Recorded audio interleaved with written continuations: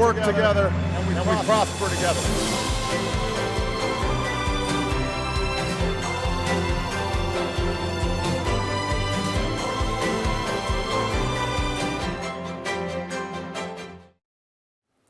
Hello, and welcome to everyone wanting to learn more about the real life experiences of being an international student in the United States.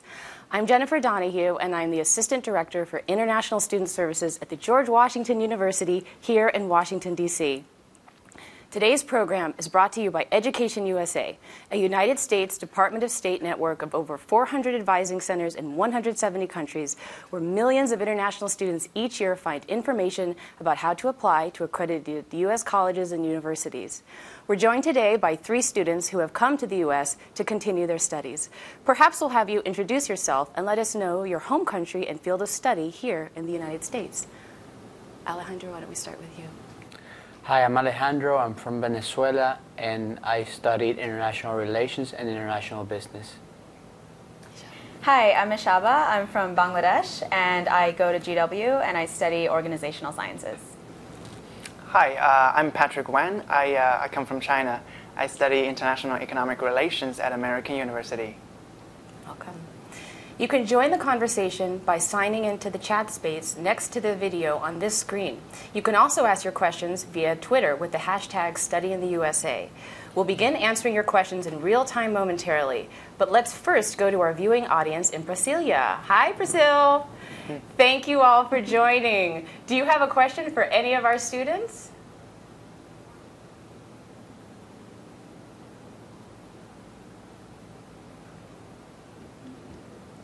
Hi.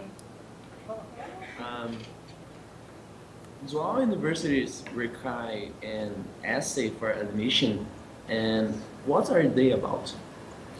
So, writing an essay for admission to a U.S. institution of higher education, you've all had experience doing that. Patrick, do you have some ideas to share? Well, I, um, I, uh, I came here to, for a master's de- degree, and uh, it is a little bit different than undergrad uh, education application.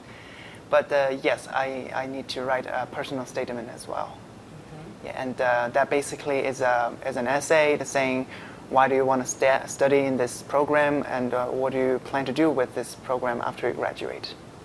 And Ishaba bringing our undergraduate experience, yes, uh, share. Yeah, I had to write a couple of essays actually. Um, it depends a lot on the university you're applying for because um, every university has a different requirement for their essay. Uh, you'll probably have to write a personal statement, which is basically just um, declaring yourself and telling the university why they should pick you. And then aside from that, you'll probably have to write uh, an essay about a topic that they give you or about um, someone who inspires you or a moment that changed your life. Anything that sort of is convincing enough to um, have them admit you. And Alejandro, what was your experience? Yes, eh, I I also had to write a, an essay for American University, and um, it's mostly about a life experience that you've had, and something that really makes you stand out so that you can be admitted into the university. Wonderful. Do you have any more questions for us, Brazil?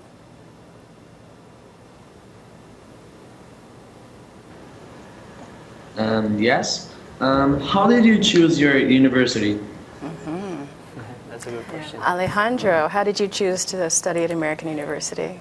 Well, I, when I got accepted into American University, they uh, told us to come in for like a acceptance day, and we got a chance to look at the campus. And for me, it was really the campus. The campus at American is really nice and it's really beautiful. And um, I mean, I knew that uh, American had a very good program in international relations, and that's why I decided to um, to go to American University. Yeah, it's very attractive. And Ishaba at George Washington University? Yeah, for me, it was all about location. Um, I was born and I grew up in a city, so I didn't want to go to a school that wasn't in the city.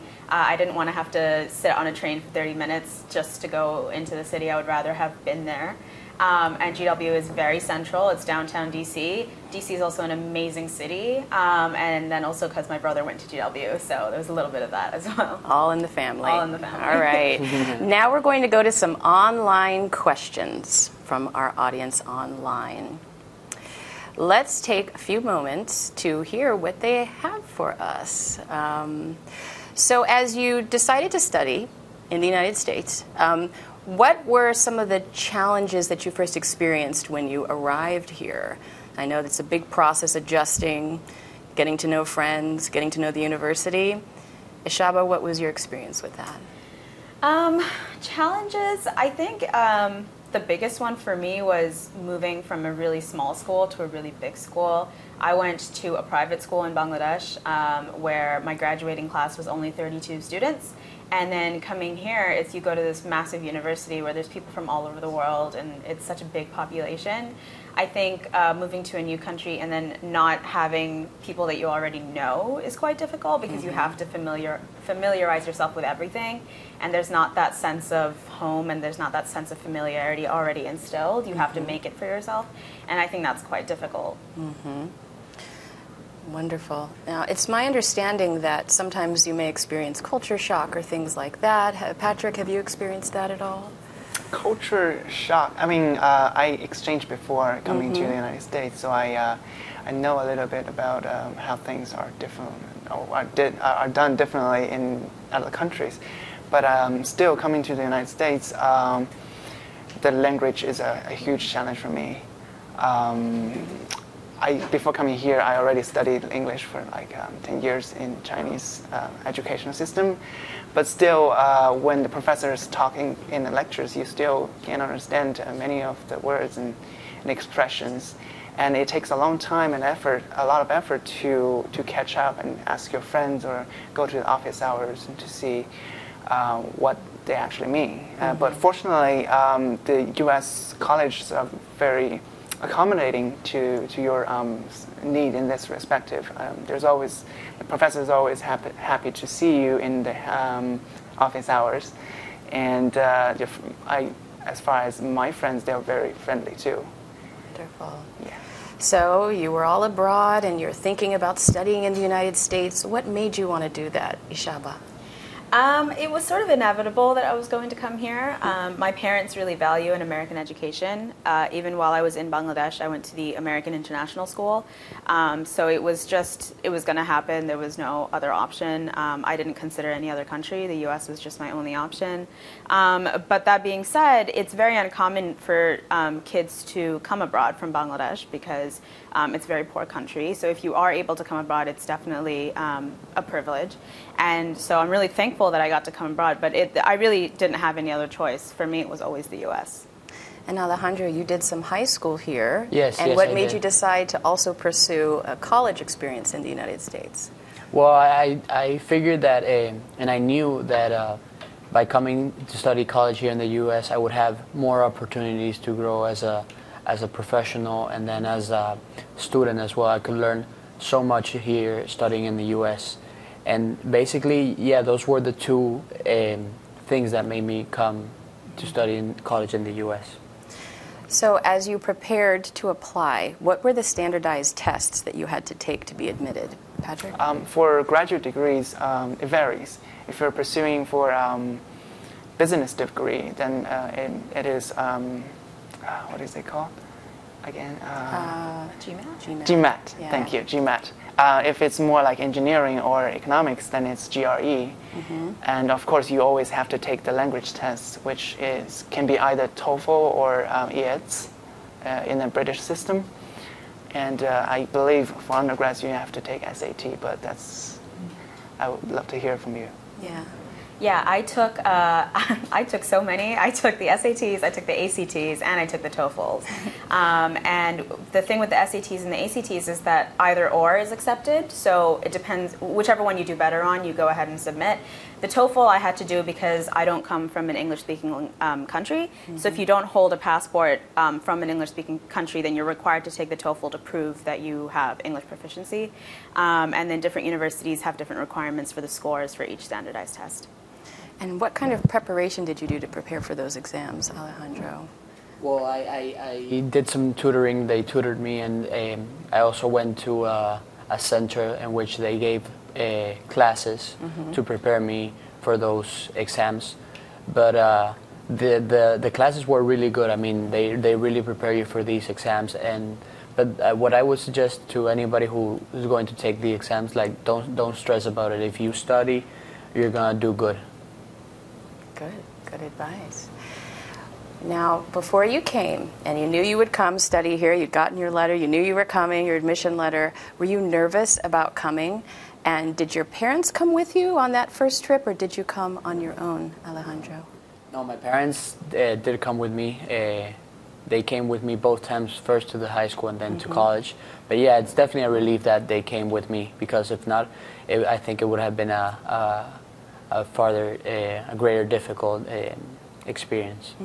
And Patrick, as a graduate student? Uh, I came by myself, and uh, yes, I was nervous, and um, um, it is a two-year commitment, and you have no idea where you will be um, after two years. You know, uh, you come to the United States from thousands of miles away, and and all your friends and family are left behind. You have to venture into this new land, and you don't know anyone.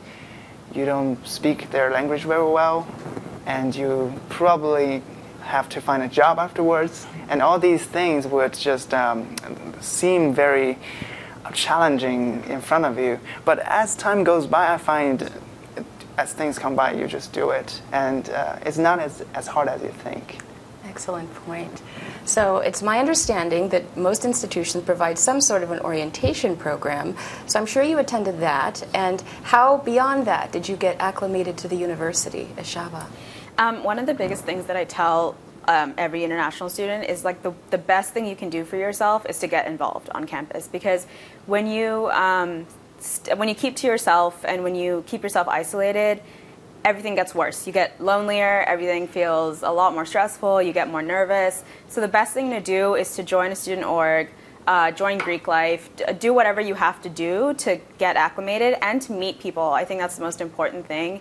Um, orientation is great, you can meet a lot of people at orientation, but the chances of you actually maintaining those friendships um, are, are quite small. So I would recommend that you join something that interests you. Personally, I joined college radio because I love music and I love talking and I love um, broadcast. So I joined radio and I met some amazing people and I definitely felt a lot more at home. And how else have you plugged into the institution? Um, I also joined um, the Student Association and I decided to represent myself as an international student. That's also a great thing that you can do because you are, um, that, that's what makes you unique is that you're an international student and compared to a huge college um, population, you're just a tiny, tiny little student, like tiny little population. So when you put yourself out there and you represent yourself as an international student, it makes you different, it makes you unique, and you have all these stories and experiences you can tell people that other people won't have. Um, and I think if you can find a leadership position um, with that in mind, then it's definitely going to make you stand out. And Patrick, as a graduate student, was it a little different for you? Oh, it's very different. There's no more clubs or, or fraternities for you to join. But um, I think um, for graduate students, the intention is much more, uh, much clearer. You come to the United States either to pursue a professional degree, which means uh, you want to um, go to a better job, or you want to advance in a, in the level, current level of your job, or you go to a PhD degree um, and say you, uh, you want, I want to do research afterwards. And uh, graduate um, student life is more like going to school, uh, research, do, read your papers, write your papers, talk with professors. Uh, I mean, that that's by no means it means there's no social life. You still hang out with your friends in the program or in the school, but it's uh, it's different. And I mean, uh, Ishawa is a very capable person. Uh, she has taken a lot of leadership roles, but you don't have to do that to to survive in U.S. campus. Every per- every person have a different personality. For me, I like quietness. I like um, you know hang out with two or three best friends, and that's totally fine. And nobody, and that's about the United States. You do you, you do whatever you feel like comfortable with. And your two or three best friends, are there some Americans in there too? Oh yeah, I have uh, I have one uh, American friend who's really close to me as well. Here, Wonderful. And you I met them here during Yeah. your studies? Yes, and yeah, she actually invited me to um, to spend the Christmas with her in my first year when I felt lonely. You know, everyone left the campus, no friends are around, and uh, it was the best uh, Christmas I have had. Wonderful. Alejandro, have you made friends with some Americans during your time here? No, yes, I have definitely have made friends with with some Americans. Uh, And other international students as well? Yes, yes, with other international students. I mean, uh, AU is a very international um campus, and there are like um, people from all over the world, but there are also, uh, of course, Americans, and the Americans are very, very nice. uh, uh, the students, the student population in general at American is very, very nice, and I'm sure across the U.S. as well. So, uh, the thought is that the life in the United States can be a little pricey. Um, what is the cost of living, and how can you finance that while you're here? How do you sustain your fantastic lifestyle? Um, I think it differs from person to person. Um, some people are very fortunate and get to come here um, with a, a scholarship, and some people also get to come here um, with the help of their parents. Their parents help them finance. Um, but if you are one of the one of the few people who have who has to pay for college by yourself, it can obviously be a struggle. And I think it's just all about um, finding the right job and uh, doing well in your studies and just like maintaining your legal status just to not so as to not um, get deported um, but yeah i think it depends from person to person yeah I really um, understand the concern of financial stress. Um, before I come here, I, uh, I understand my parents would not be able to supply the, uh, the amount of money that would cost me to study and live in here. The tuition is very expensive in the United States, and uh, the, the cost of living is very high for Washington, D.C., or any metropolitan cities as well. Um, so when I was looking for universities, I intentionally looked for their um, financial aid web uh, page. Uh, you know, if you go to any university, they will normally have a financial aid page uh, that tells you we offer these and that um, financial aid packages. Some of them you can't apply because they're like say government um, uh, scholarship, but some of them you can. Uh, there are school u- scholarships, there are um, university scholarships, there are also um, the United States, the government also offers um, Fulbright um, scholarship, which you can apply as a foreign nationals. And uh, you want to gather as much information as you can on the website. There's also um, other resources. Um, when I was applying, there's a website called Grad Cafe, which is a place where all the graduate um, applica- applicants uh, discuss their um, the package they received and what university to choose from. And there are a lot of information you don't get from the official sources. Normally, the universities don't tell you we give 20 students every year um, this scholarship. They just tell you we have this available, you need to apply for it. Uh, and uh, learning from the other sources helps you to decide, okay, this is more likely for me to, to, to get a financial aid. Great. Let's go back to Brasilia for a few more questions. Hi. Go ahead. Hi. Um, I'd like to ask, what kind of extracurriculars did you do in high school and which ones do you do now? So, extracurricular activities that you did in high school and that you might have continued to do in your studies here.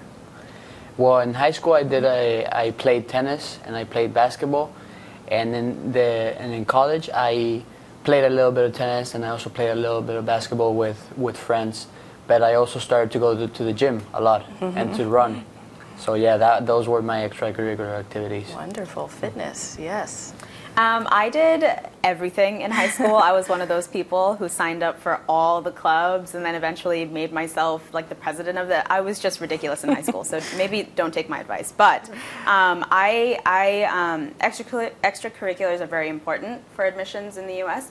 They don't just look at your transcript; they also look at what you did. So make sure you do get involved in school. Um, and then when you come to university, you can do whatever you want. Just find something that you like and then and, and do it. Honestly, there's no boundaries. You can no one's going to restrict you from doing anything. You can join whatever club, whatever organization you want and then do whatever you want with it as well.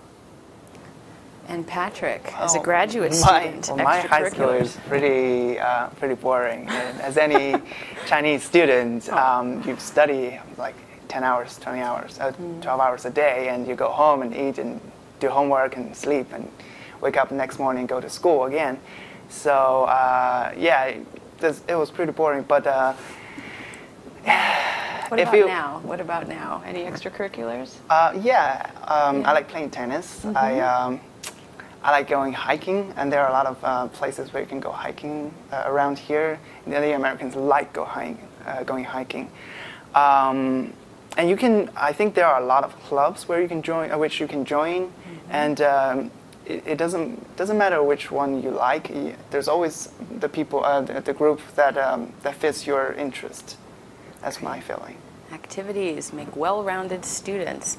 Uh, we have time for another question from Brazil. Um, how different was the student-teacher relation when compared to high school? So, how did the relationship with your teachers change from the high school setting to the college setting, Alejandro? Well, compared to uh, high school in Venezuela, um, uh, teachers in, in Venezuela uh, are less approachable than teachers here in, in the United States. And uh, in here, here in the United States, you, you can definitely go to the to the professors and talk to them, and they want to see you do well in school, and they want to get to know you and know uh, what are your interests and what are your your your hobbies, and, and you can really build on the student-teacher relationship. Wonderful. Patrick, have you had the same experience? Um, yeah, I think high school in China and uh, colleges in the United States are entirely different. Um, in high school, we have this um, classes, which you are like 50 students and get together, and you always sit in the one classroom, and teachers come in and teach you the language or math or geography, and get out, and the next teacher comes in. But in college, uh, you have you make your own um, schedule of classes. You select the classes you like, and you take the book and you go to the classroom where the teacher is going to teach, and then uh, you it's normally um, one or two hours. And after class, you read more. You do a lot of reading up by, by yourself, and you discuss with friends or do homeworks together, do group projects, or go to office hours of the professor. And it's much more about independent learning than uh, in a high school. Thank you, Brasilia, for the wonderful questions. Our online audience can continue to ask questions to our students joining me here in the chat space. You can do so by logging into the chat or via Twitter by using the hashtag StudyInTheUSA. So, what is the U.S. classroom like? And how is it different from the classroom experience in your home country? And is it fun? Do you enjoy it at the master's level? What, what do you think? Is the classroom experience fun, interactive? In the cla- master's level is more um, academic, more professional. Uh, especially, I study in a, in a professional school which focus on international affairs.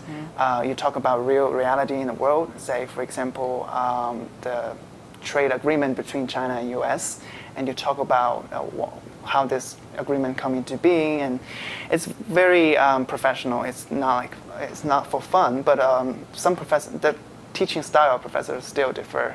Uh, some are more fun, some are more like read the text and let's discuss, right? That kind of thing. But it's it's very different uh, in terms of classroom setting than than in China.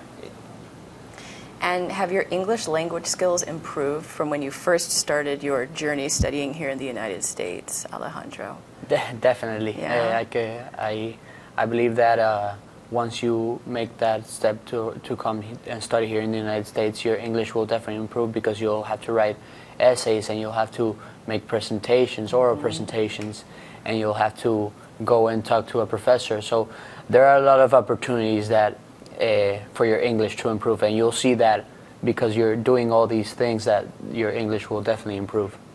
And Ishaba, as you've known friends over the course of your experience as an undergrad, have you, other international students, have you mm-hmm. seen their English language skills improve? Oh, definitely, Yeah. definitely. Um, I think it it just sort of happens. You're the, like Alejandro said, you're forced to talk to professors. You're forced to interact with other students, and it requires you to to improve your English, whether you like it or not. You're going to have to do it, um, and it's the primary language here. So um, knowing a little bit definitely helps. But when you do go to school here for four years, um, it definitely improves. Like even myself, even though I um, spoke English fluently. Um, coming here, my accent's gotten so much stronger. um, so yeah, that's. I mean, it, it'll change. It'll happen. So if you're if you're worried that you won't be able to communicate, don't worry about it. Okay. Just listen to Java speaking English, and you you'll see how it's like. Yeah. So I know as undergrads and sometimes even as grads, we kind of change direction. We may change our major. If a student enters studying liberal arts, can they later change a major, a change focus, change to a different program? Did any of you do that? And what was your experience like? Well, I, I personally didn't do it, but I know a lot of people who have done it, and mm-hmm. there's no problem with it. I mean, it's totally fine to have uh, different interests midway through your uh, undergraduate uh, studies. And uh, sometimes uh, what they advise you to do if you don't know what you really want to study is that you can, the first two years of your undergrad career, you can take a lot of different courses. Like and- electives. yeah, electives, and try to figure out from there wh- what really interests you, what really, what are you really passionate about. But yeah, there are a lot of uh, options to choose from. Smart. Yeah, the great thing about um, American universities is they don't require you to come in with a major. Um, so you can come in undeclared and then take some electives and decide what you want to do. Um, and you can change your major. Um, I believe you have until second semester sophomore year to decide what you want to do. Um, second semester sophomore year is your fourth Junior? semester. Yeah. Um, and you can decide to decide what you want to do. So yeah, if you don't know what you want to do, don't worry about it. Okay, we have some online questions. Dieter from Albania, hi Dieter, asks When is the best time of year to start looking at your options for applying to schools in the United States? What was your path? I would say probably start as soon as possible. Look at the schools and know. uh, The most important thing I know, I I see a lot is students come to the United States not knowing what they want to do, and um, it, it's not. I mean, at uh, undergrad level, probably that's okay, but uh, at graduate degrees, really you're um, you're devoting two years or, more, five years for a PhD to do one specific things, and you really want to make sure you that's what you want to do. And uh, I think um, in, in terms of process, you probably want to apply, start applying or improving your language skills, prepare for GRE and TOEFL at, uh, in your third year of college, if it's a four-year degree. And um, by the beginning of the fourth year, you should be able to, you should finish all the tests and uh, be able to submit the applications because for the top universities in the United States, deadline is normally like much earlier than others, I'd say in in August, um, sorry, September or October. Yeah. And as you started thinking about studying here, how did you choose which institution to attend? Was it looking online at websites? Was it talking to friends? Was it word of mouth? Was it experiences? Was it alumni? How did you decide ultimately? What inspired you? Um, yeah, so my the the advice that my counselor, my high school counselor, gave me um, in terms of school is everyone or everyone might or everyone should or everyone maybe does have like a dream school, like a school that you really really want to go to. Put that on the top of your list, and then come up with some schools that you can definitely get into, and then put schools that are your safety schools um, that uh, you would maybe go to if you didn't get into anything else on your list. Um, and then once you have, um, I think probably a solid list is probably made up of like 10 universities. And you apply to all 10, and then whichever one you get into, you get time to decide. Um, I started thinking about this um, my en- the end of 11th grade um, because I knew that 12th grade meant taking SATs and taking um, other like school exams, and that I had to have made a decision by December of um, my 12th grade. So as soon as you're done with 11th grade, um, start thinking about it. And if you're able to, um, do college tours. If you're able to travel to the U.S., um, then def- I definitely recommend it. now, in the classroom setting, what would you say is the most interesting class you've taken in college? And it could have been elect, it could have been a tennis class, but what was the most interesting topic? That's a good Yeah. question. Um, I would have to, I would have to say that um, uh, social entrepreneurship uh, was really interesting. We we discussed a lot of uh, nonprofit organizations and uh, organizations that are uh, that are uh, created for a social purpose, and it's really nice to see. Um, how many uh, individuals uh, throughout the world and how many organizations throughout the world are interested in helping the world uh, develop. I mean, I'm very interested in international develop- development, so this class really fit into what my interests were. Wonderful. It inspired your entrepreneurial spirit. That's fantastic. Exactly, yes. And Ishaba? Um, I took a stress management class once uh, that was actually very useful and not as easy as you might think. Um, it was it it, it, it it was very helpful. Um, I took it during one of my most stressful semesters, so I figured that taking it would help me get through the semester, and it definitely did. And you learn so much more about um, staying calm and managing your stress and all the stuff that your body does when you're stressed that you never knew that it did, and you um, learn all the skills to control it. And it's it's a very useful class. It's wonderful. Patrick? The, the my favorite class in, in here is uh, called negotiation skills, which uh, is entirely different than anything I've ever taken. Um, we still read books. We uh, read uh, what people analyze about uh, negotiations, but uh, the most majority of the class we spend um, in group settings, and we discuss cases. For example, um, different we represent different countries and talk about the uh, pressing issues between different countries. Why I, I don't agree with you, why we have conflicts, and how do we negotiate with each other so we, we can avoid the worst outcome and uh, make a make a agreement that is best for everyone. It is a very practical class, um, and the group, the teacher encourages your personal, um, you know, creative performance, and uh, it's very unique experience for me. Wonderful. So negotiation, stress management, entrepreneurial leadership. We've got a great team here.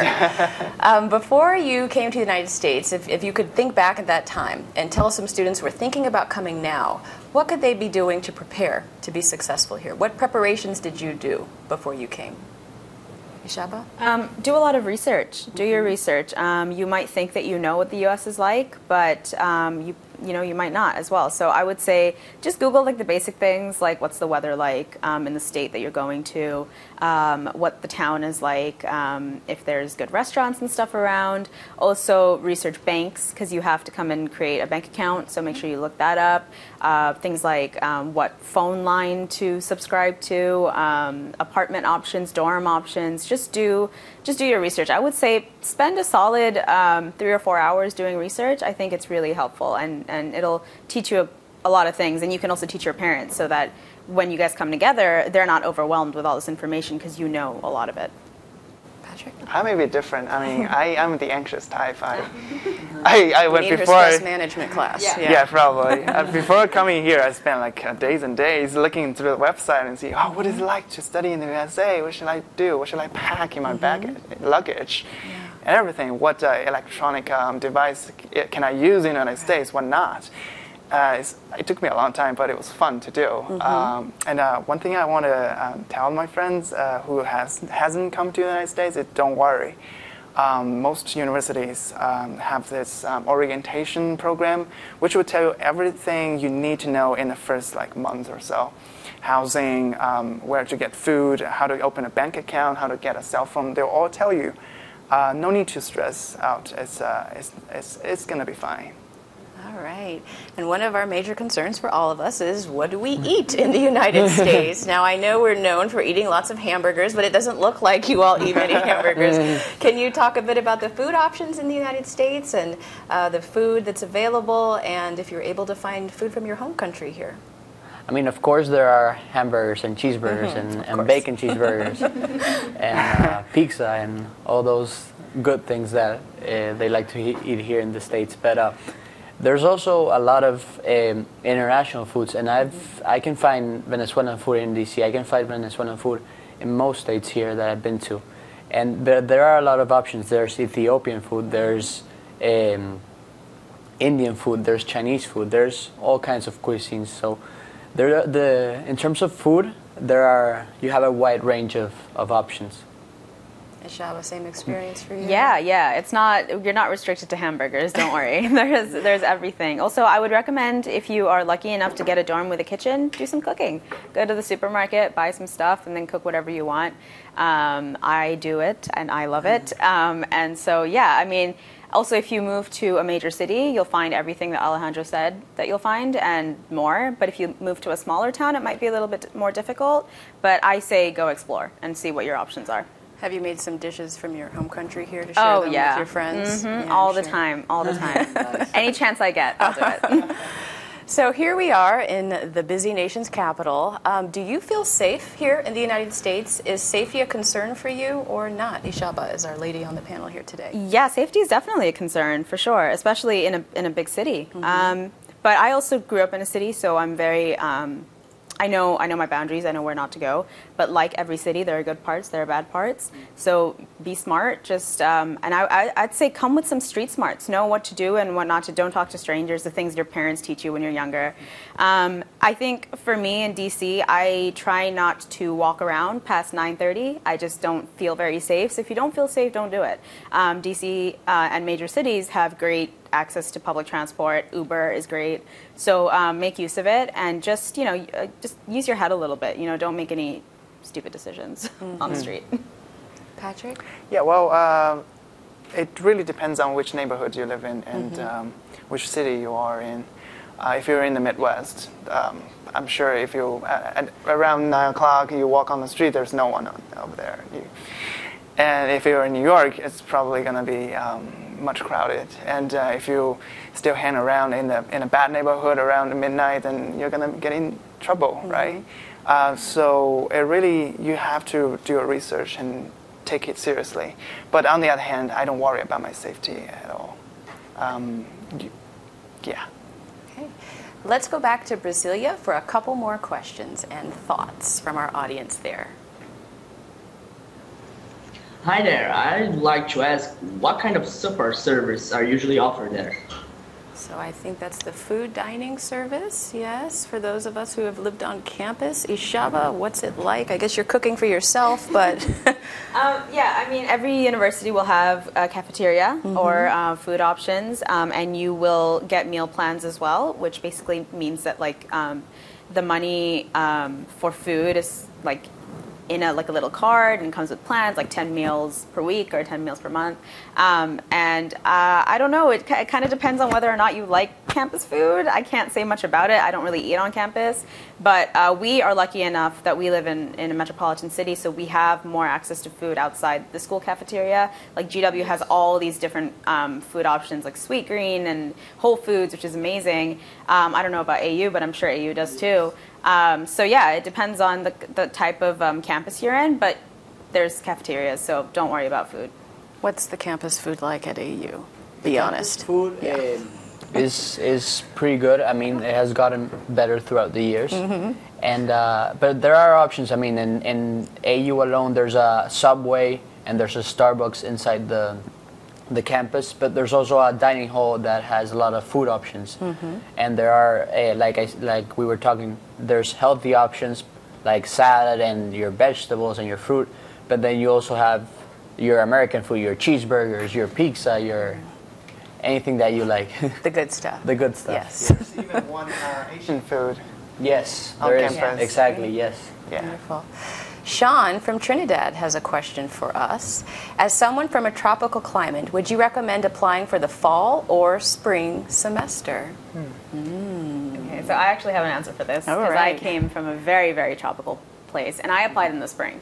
I applied in the spring, and I came in the spring um, because I didn't know what the cold was going to be like, and I didn't really want to experience it, to be completely honest. And the thing with um, applying in the spring is that you will still experience the U.S. winter because the U.S. winter lasts until about March-ish, and then spring comes along, and then you're sort of like that. It's summer, and it goes from really cold to really hot, depending on where you are.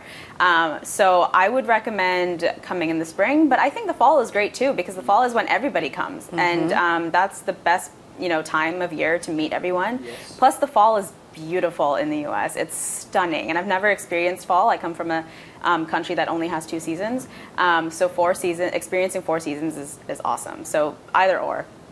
And as she pointed out, it will vary depending on if you're Yeah. in the East Coast or the Oh, West yeah. Coast. As a Californian, it's a very different experience for me. Arturo from Mexico asks about college life. I'm planning to study computer science in the U.S., but I would also like to do a minor in music. Do you think I'll be overwhelmed?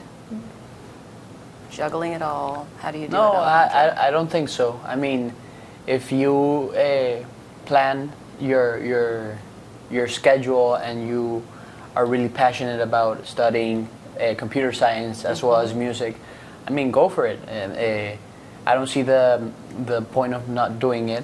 And if you once you start studying the things that you want to study, you'll you feel you'll feel you'll feel good about what you're doing, and you'll feel you'll get more involved, and you'll be happy. You'll your time here in the U.S. will be will be better. And Patrick, what do you think about if, if someone wants to study two tracks while in graduate school? What would that Oh. look like? We have we have students who do um, JDMA degrees, which Dual means degree. um, which means uh, a doctor's uh, degree in law and also uh, a master's degree in um, in international affairs. It's doable. It's uh, it, it takes longer. It may you, you might be tired, a little bit more tired than the others, but uh, it's definitely doable.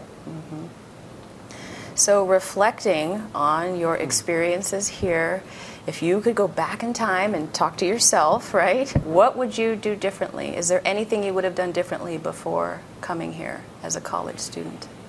Before coming here, or when you first get here? Oh, I guess all of it. So, is there anything you would have done differently to prepare? And then, as you merged into the campus life, how would you have handled it differently if you could?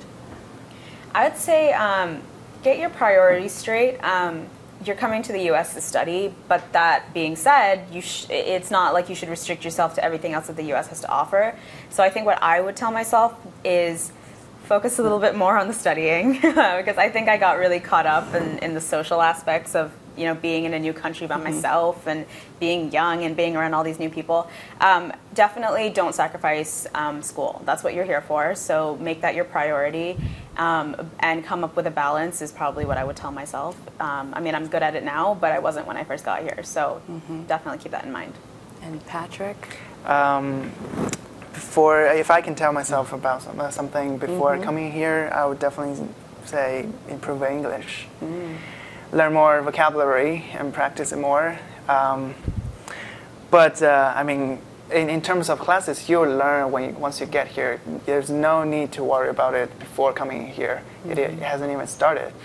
Um, but I do wish I could have. Um, I had uh, hang out more with my friends in China before I came here, because it, you normally once you come here, it, um, it's rather um, how to say it's hard to get uh, to meet them again uh, in every year or two. Alejandro, if you could talk to yourself from a few years ago, what would your message be to self? I say um, I would uh, I would have definitely have gotten involved in more uh, student organizations. I think that's a, w- a great way to get involved in, in different things that you might be interested in, and it's a great way to meet uh, people. So I would, uh, although I have a lot of friends, uh, I think those would have been my like my reflecting points of Yeah. view.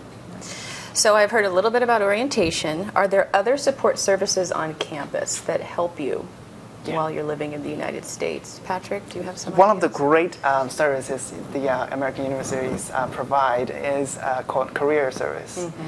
Um, I think most universities have a career center, which um, not only helps you to um, to change your resume, to go over your personal statement, um, but also uh, post the jobs. The career center specialists they actually go out and connect with the employers and see, okay, are you are, are you um, um, do you have any positions available? And they'll post it on your on-campus jobs, and you can apply for them. And it's much easier to land a job from inside than going out to the market and compete with everyone else in the in the society. I think that's a great um, orient, uh, organization Resource. on campus. Ishaba, support services that you're a fan of? Yeah, career services is great. Um, definitely take advantage of that, um, as well as the ISO or the ISS, depending on what it's called in the university. What does that stand for? International Students Office or International Services. Oh no, International Student Services. Okay. Um, basically, an office that deals with you as an international student. They're a great resource because they they have all the information that you might need. Um, also, um, if you're ever concerned about whether you're doing something wrong or um, how to do something right, they're the people to go to. And I would also say is if you're lucky to go to a university that has a student org that's just meant for international students, join it because it's a great way to meet other international students and to not feel like um, you're con- constantly having to depend on administration because you have other students who can also help you. So, yeah, look for look for the ones that are definitely going to lead you towards a brighter future. Great There, there's also the, the health center and the wellness Oh, yeah. center. So if you're feeling sick, you can most definitely go to the health center. Or if you're feeling homesick or are uh, going through a rough patch, you can definitely go to the wellness center. And they have uh, people that want to help you, and they they're specialized in uh, these sorts of things. Let's go back to Brasilia for a couple more questions. Go ahead. So, how to cope with cultu- cultural shock? Mm, the culture shock question. Yes. So, as you left your home country and merged into the United States, was there a little bit of a shock that you went through, or you might have been excited at first and then things kind of went downhill? Perhaps they came back up. What was your experience? Mm. I don't, I don't remember. Yeah, you blocked it out. Yeah, that's Okay. I think I was uh, really excited when I got here, and the culture shock didn't hit me for a while. I think once I realized that my parents aren't here, and once I realized that I'm not going to be able to um, get my comfort food when I want it, or that I'm not going to be able to talk to my parents when I want to, that's when it was like, okay, this is real. I'm in a new country by myself. I have no one. I'm const- I'm completely independent, and if I'm homesick, well, too bad. You know, like I just kind of have to deal with it until it's like a proper time in that respective country to call them and talk to them. Um, so yeah, you know, it, it'll come to you, and I, it still comes to me. I still get culture shock to this day. You know, I've been here for three years, but it still happens. Um, if it happens, you just have to sort of learn to cope. Um, having friends really helps. So make sure you establish that as soon as you get here. You have a good group of friends um, especially friends who can um, relate is really helpful. Having someone to talk to really helps. Again alejandro said that there's um, health centers and they're trained for this. They're trained to help you with homesickness. So um, yeah culture shock happens. Homesickness happens. It's inevitable. It's going to happen. Um, if you've never been to the us then just coming here is going to be a culture shock. So yeah everyone deals with it differently Unfortunately, we are already out of time. I'd like to thank Patrick Ishaba and Alejandro for their valuable insight today. I'm sure our online audience has benefited from your experiences and will feel comfortable when they continue their studies in the United States. Thank you to all who joined us today. A special thanks goes out to our friends in Brasilia. Thank you so much for joining us. Remember that you can continue the conversation by using hashtag Study in the USA, and many resources are available to you through the Education USA website.